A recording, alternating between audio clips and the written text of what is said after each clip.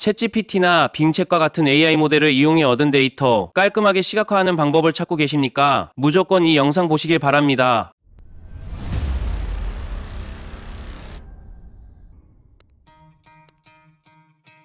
안녕하세요. 평범한 사업가입니다. 제 채널에서는 ChatGPT와 돈 버는 방법에 대해 컨텐츠로 다루고 있습니다. 이번 영상에서는 생산성을 올려주는 AI를 소개해드리려고 합니다. 이 영상에 생산성을 올려주는 AI 서비스를 더 알고 싶으신 분들은 재생 목록의 생산성 AI에서 더 많은 영상을 확인하실 수 있으니 많은 시청 부탁드립니다. 챗GPT나 빙챗과 같은 AI 모델을 이용해 얻은 데이터 깔끔하게 시각화하는 방법을 찾고 계십니까? 무조건 이 영상 보시길 바랍니다. 제 주변을 둘러보면 ChatGPT를 사용하고 있지 않은 사람이 더 많을 정도로 상용화가 이루어졌습니다. 참 많은 정보들을 쉽게 얻을 수 있기에 학생, 직장인, 남녀노소 구분 없이 많이들 사용하고 있습니다. 그런데 이런 정보들을 시각화하여 공유하거나 제출해야 할 때가 많은데요. 그 어느 것보다 가장 깔끔하고 쉬운 차트 생성 및 공유 서비스를 소개해드리겠습니다. 바로 Graphy.app입니다. Graphy의 메인 화면입니다. 한번 직접 사용하는 모습을 보여드리며 알려드리도록 하겠습니다. 현재 예시값이 입력되어 있는데 제가 직접 우측의 테이블란에 데이터를 입력하는 방법을 먼저 보여드리고자 합니다. 우선 테이블 데이터가 필요하니 ChatGPT로 넘어와 10년간의 대한민국 GDP 성장률에 대한 데이터를 요청해 보겠습니다. 당연히 테이블 형태로 요청하셔야 합니다. 이렇게 결과값이 나왔습니다.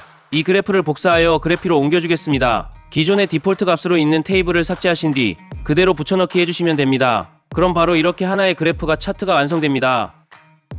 타이틀에는 여러분이 선정하신 주제를 작성해 주시면 됩니다. 그리고 Graphy가 가장 좋은 것 중 하나가 디자인의 다양성입니다. 차트 위 디자인 카테고리를 보시면 차트 유형, 차트 지표의 색, 배경색, 차트 사이즈, 축 설명, 테마 등을 선택할 수 있습니다. 먼저 차트 유형부터 한번 살펴보겠습니다. 일반 바 형태의 차트부터 선으로 이어지는 차트, 곡선, 직선 선택 가능합니다. 파이 형식으로 되어 있는 차트까지 그 형태가 다양합니다. 바의 색과 배경색도 다양합니다.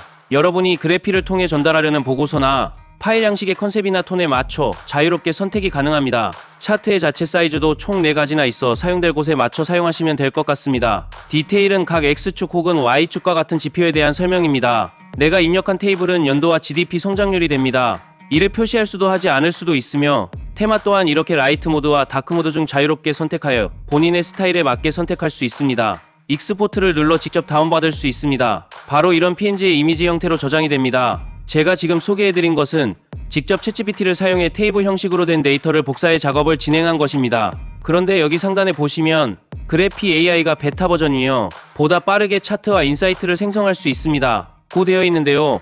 클릭해보니 sign up을 요구하길래 간단하게 구글 계정과 연동해 진행했습니다. 진행하고 나니 이런 화면이 나옵니다. 즉 방금 제가 진행했던 ChatGPT에서 데이터를 가져오는 단계를 아예 Graphy에 내재시킨 것입니다. ChatGPT와 같은 AI 모델이 제가 입력한 프롬프트에 따라 차트를 생성해준다는 것입니다. 한국어를 인식할지 모르겠어서 아까 진행했던 주제 그대로 번역하여 입력해 보겠습니다. 잠깐의 시간이 소요된 후 이렇게 바로 차트가 생성되었습니다. 기존에 제작했던 것과 다를 것이 없습니다. 오히려 번거로운 단계가 한 단계 줄어든 셈입니다. 이와 더불어 제가 입력한 프롬프트를 기반으로 한 추천 프롬프트까지 보여주고 있습니다.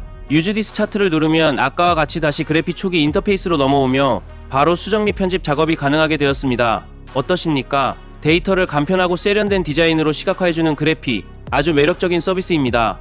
하루가 멀다 하고 무언가 공개되고 혁신이 발견되고 하는 빈도가 잦아졌습니다. AI가 대세가 된 지금 저희도 이에 발맞춰 빠르게 움직여야 합니다. 지금은 이전의 툴들을 학습하기보다 앞으로 나올 AI가 적용된 툴들을 학습하는데 많은 시간을 할애해야 하는 시대입니다. 앞으로도 가장 빠르게 우리의 생활을 향상시켜줄 도구에 대해 전달드리도록 하겠습니다. 이 영상이 도움이 되셨다면 구독과 좋아요 부탁드립니다. 이상 평범한 사업가였습니다.